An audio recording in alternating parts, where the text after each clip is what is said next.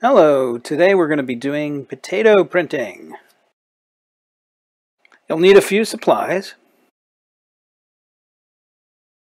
A potato, or two or three or four.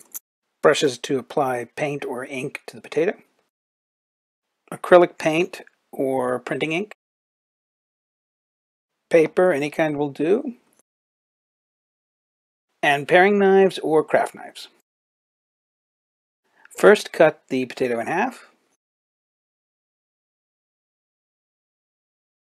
Wipe off any excess water, moisture coming from the potato. If it's going to be a little while before you use them, you might want to wrap them in plastic wrap too, to keep them from drying out and shrinking.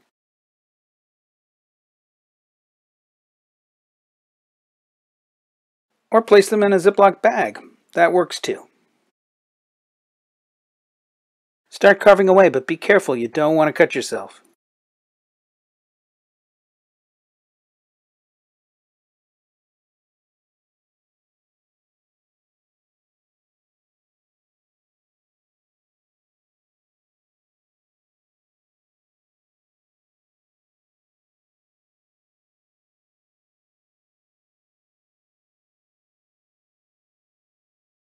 Can you guess what I'm making?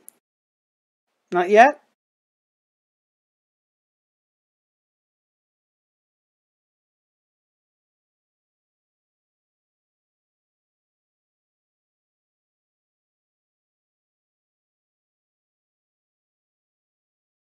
Hint, it's a leaf. Oh, I think I just gave it away.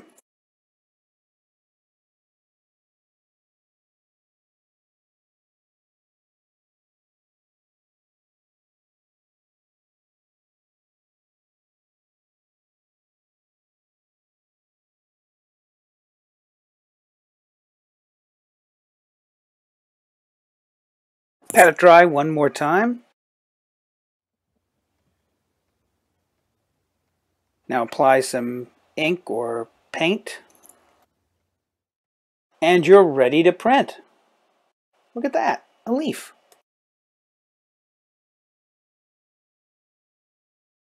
Wipe the previous color off and you can apply a different color.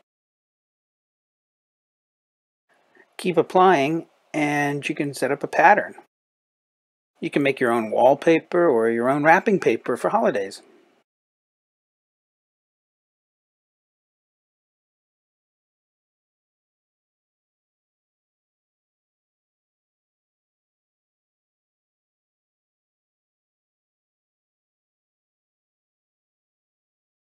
You can keep carving new shapes.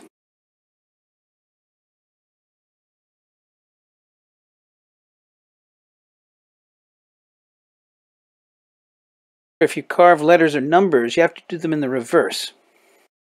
That way they'll print in the correct direction.